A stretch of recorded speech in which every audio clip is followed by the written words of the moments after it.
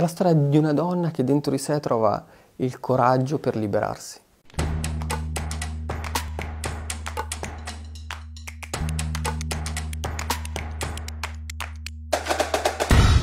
Mia nonna in più occasioni mi ha raccontato le vicende di questa Ava eh, che insieme a suo marito aveva combattuto nella guerra civile italiana, cioè come brigantessa. Sono storie a cui ho cominciato a interessarmi fin da piccolo e che poi piano piano ho studiato sempre di più. E poi ho scoperto appunto che, che riguarda il passato di noi tutti, che riguarda il passato di noi italiani. Il rapporto mai risolto veramente tra il nord e il sud ce lo portiamo, ce lo portiamo dentro e dietro è una delle tare del nostro paese. La storia di Maria, è, di Maria Oliverio, è, è come una, una, gemma, è l'unica, è l'unica donna che arriva a, a, guidare una banda di briganti. Ed è una storia che ha a che fare con, con passioni feroci. Quindi è una storia eh, che racconta di un rapporto familiare, ma soprattutto di un rapporto con una sorella, un rapporto di odio e di amore con questa sorella e poi uh, c'è un rapporto di amore feroce con suo marito. Italiana eh, deriva proprio dal modo in cui durante la guerra civile italiana i cacciatori delle Alpi, i bersaglieri, i soldati sostanzialmente dell'esercito del nord, chiamavano coloro che combattevano al sud. Finora i miei libri sono composti diciamo così, da, da, due lavorazioni completamente differenti.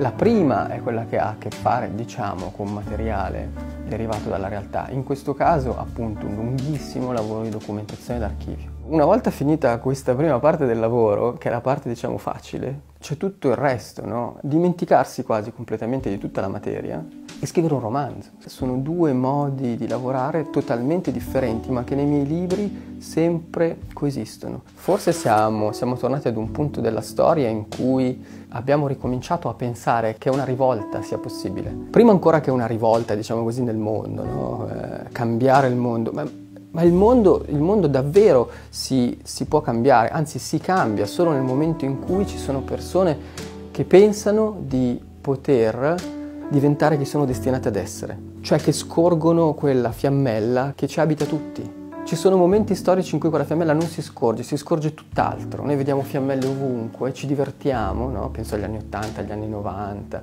ma la fiammella dentro non si vede. I giovani sono tornati a immaginare un mondo diverso. C'è stato un momento precisissimo in cui ho capito che, che, la lettura e i libri erano una cosa fondamentale della mia esistenza. Avevo 11 anni, pensate, stavo leggendo un libro che ci aveva dato da leggere oh, la mia professoressa di italiano delle medie, Narciso e Boccadoro di Armanesse. Quel libro mi ha in maniera totalmente misteriosa, quasi mistica, anzi mistica proprio, mi ha mostrato mh, quale sarebbe stata la mia strada, pensa a 11 anni, ho saputo che che avrei, che avrei fatto lo scrittore. E naturalmente non ci ho creduto neanche per un secondo all'inizio, no? era una cosa stranissima. Poi dopo appunto eh, ho dovuto arrendermi e qualche anno dopo ho cominciato, ho cominciato a scrivere, no? ho cominciato a scrivere le prime, le prime poesie, i primi versi, eh, a mettere delle parole nero su bianco. Eh, ecco, il, il piacere, che poi non è un piacere, è qualcosa di molto più profondo, che mi dava al tempo scrivere una parola